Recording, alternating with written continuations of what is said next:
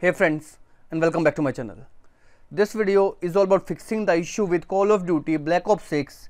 Every time you start the match, you need to set the settings manually after every match. So without wasting time, let's go ahead and directly proceed with the resolution.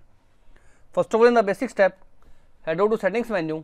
In the left pane, click on the option time and language. Click on the option date and time. From here, if you have set that date and time manually make sure to turn it on. Nextly is under the sync now you need to choose the option sync now to make your date and time up to date. Then try to launch the game. If this failed to work out in next step launch your Xbox.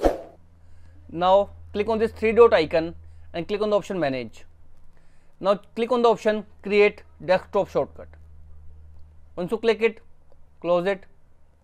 Now here is the Call of Duty shortcut created you need to right click on it and choose the option run as administrator.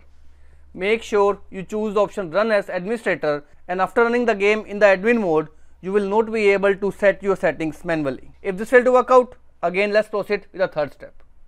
In third step if you have synced your data using OneDrive make sure you disable it.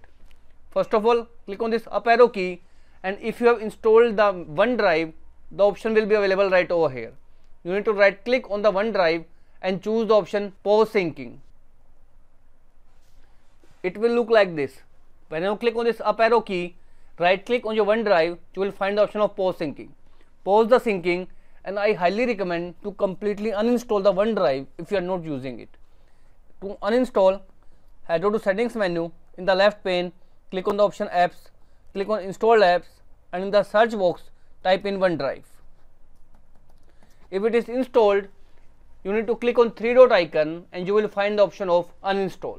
After installing, relaunch your game and hopefully the settings will not be reset after every match. Now if these tips doesn't help you fix out the issue, let's proceed with the last step. In next method, you need to go ahead and launch the game in your PC.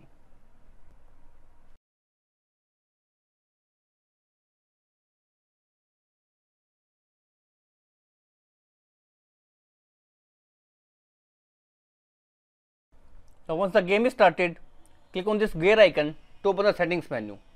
From here, you need to click on the option keyboard and mouse. Now in keyboard and mouse, if you have attached a controller, you will find additional settings with the name keybinds. Select it. The settings will exactly look like this. Under the keybinds, you will find the option of system key behavior. Now in system key behavior, from the drop down list, you need to choose the option game. Make sure under the system key behavior game has selected as its selection not the operating system as it is showing right over here. Once you select the game as a system key behavior, save the settings, relaunch your game and this will instantly fix out the issue of Black Ops 6 settings reset after every match. So as of now, this is all about it friends. If this video works out for you, I request you to please click on subscribe button and turn on the bell notification icon to continue receiving updates from my channel. Thank you so much friends. Thank you for watching.